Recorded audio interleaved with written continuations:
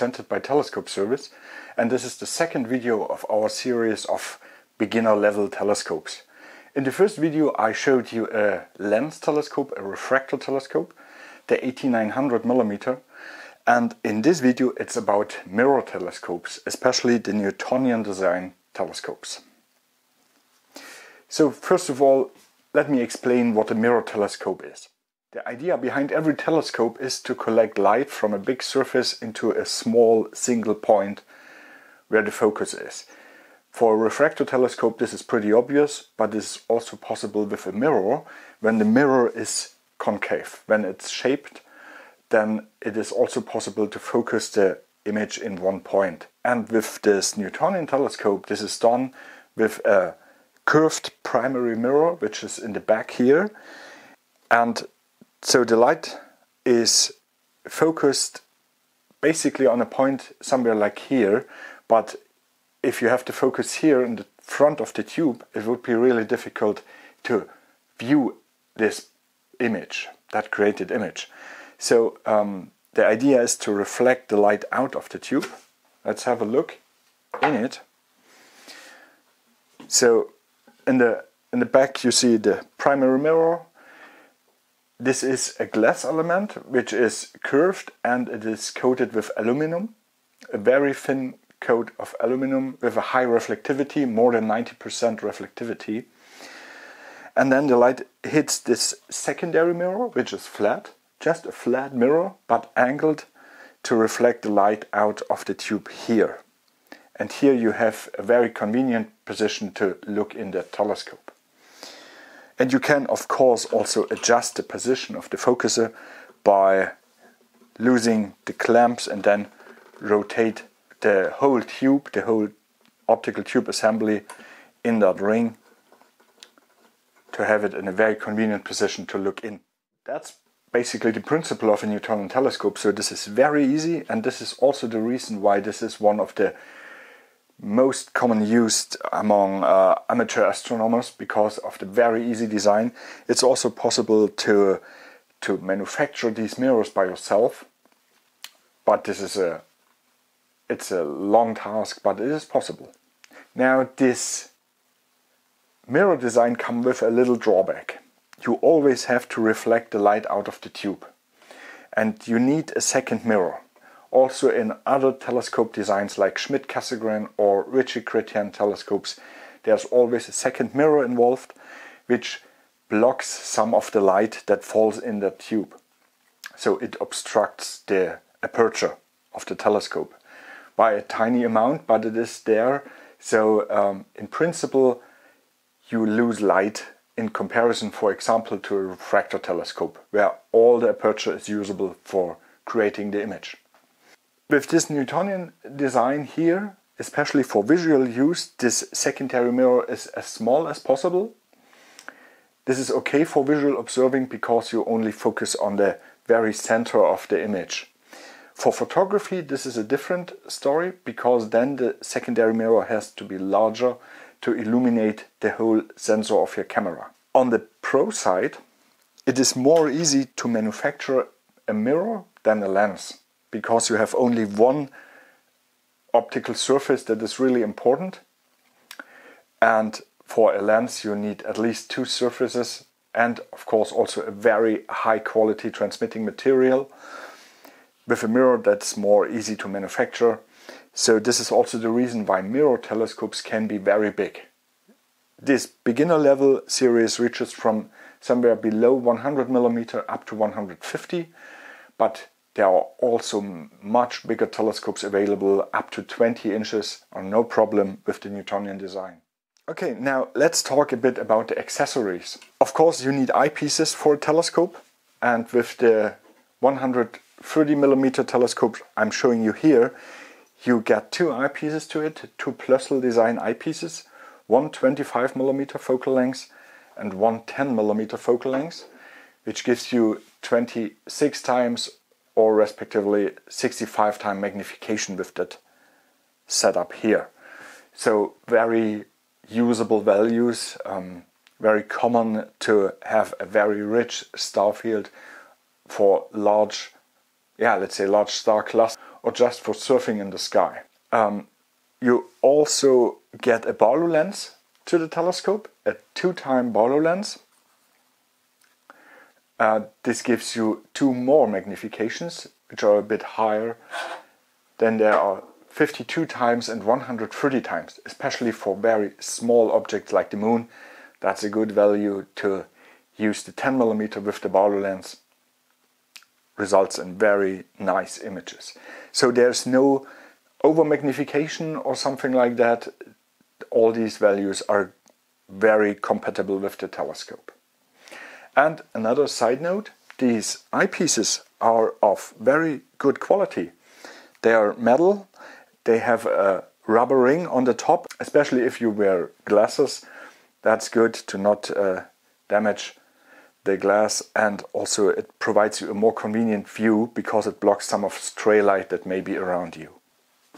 The next accessory of course is the finder scope. You get a screw-on finder scope to the telescope, a 6 by 30 so 6 time magnification, 30 millimeter lens diameter with a crosshair in it and it's fully adjustable with these screws here to align it precisely to the primary telescope.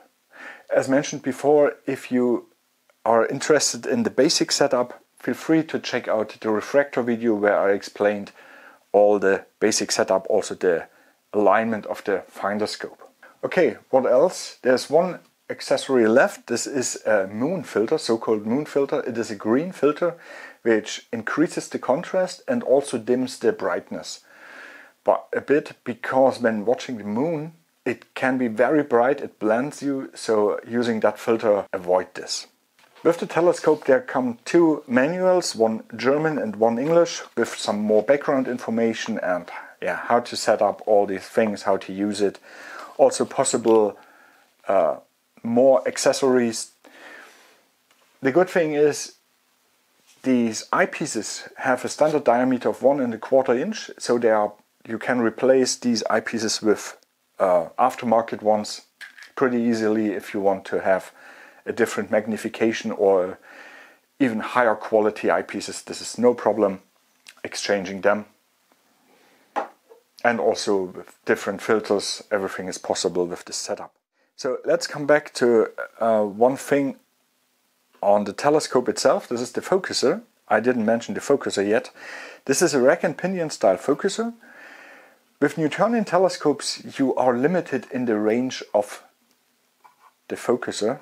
This here is pretty long to be honest, but it's not as long as with a refractor because you want to avoid to have this tube stick in here because this will uh, create some weird artifacts, so the tube has to be short. The whole configuration is made for visual observing so it is not really possible to bring a camera onto that focuser and do photography with it. That's not the intention of this telescope family. What you can do is eyepiece projection, but um, I would recommend check out other sources for possible uh, photography options with, with telescopes. Here you can't connect a camera directly. And also there's one important thing to, to mention. For a Newtonian telescope you still have image distortions. And this with a Newtonian telescope this is called coma that results in stars appearing elongated around the center. The center is sharp, but to the edges the stars become more elongated and this uh, requires a coma corrector optical element that comes in the in the focuser. But normally coma correctors are available only 2 inch diameter and more. So not for these small telescopes. This is just not working for the entry level telescopes. On the tube you find warning signs and also on the package these warning signs tell you to not look into the sun directly with this telescope. I already mentioned this in the refractor video, but it's really important, so I will repeat it here. Um, it is possible to watch the sun, but only with a proper front filter. No eyepiece filter, this is not working at all. Only a proper front filter enables you to watch the sun, and this is really impressive. Um, there are for example, foil filters available to dim the light by factor some thousand, and then you can watch the sun. And this is very a very interesting task. You can see the surface of the sun and uh, sunspots, something like this, but only with a proper filter. Don't try some sort of eyepiece projection. This is critical because the focuser is plastic, so that can damage your telescope heavily. Okay, one more thing about mirror telescopes. With mirrors in the telescope, you always have to check that the mirrors are in the proper position to each other. You maybe you saw these screws here. They are intended to adjust the tilt of the mirror, especially here for the secondary mirror. You can adjust the tilt of these mirrors to bring all the light into that focuser and not reflecting it in some other direction because this will degrade the image quality heavily. With this uh, adjustment, so-called collimation, you ensure that all the light comes into your eyepiece and you see and you use the full potential of the telescope. In the back, the back is covered with a plastic cap here. To remove that cap, you can use a very small screwdriver or knife, something like that, gently pulling here, remove the cap. And then you see the collimation screws for the primary mirror. Three screws to adjust the tilt. Now, uh, it would be too long to cover the whole process of collimation, but I made a video already for Newtonian collimation. I will put again a card on the top here. Please follow that video if you're interested. And I would really recommend uh, getting used to that uh, kind of collimation because of shipping issues and, and yeah, handling issues until the telescope reaches you, these mirrors can be decollimated. So they are pointing in some unknown direction and before first using the telescope you should be checking the collimation. So this is that simple with uh, tools like a collimation laser. This is really easy and especially for this entry level telescopes here also the very simple um, TS Optics LA1 laser would be sufficient to bring the telescope in a good collimation. So far that's all that I want to tell you about the Newtonian Telescope series, the Starscope series. I hope you liked the video, I hope it was informative for you. If you have further questions, as usual, drop a comment below. So thank you very much for viewing and until next time, bye bye.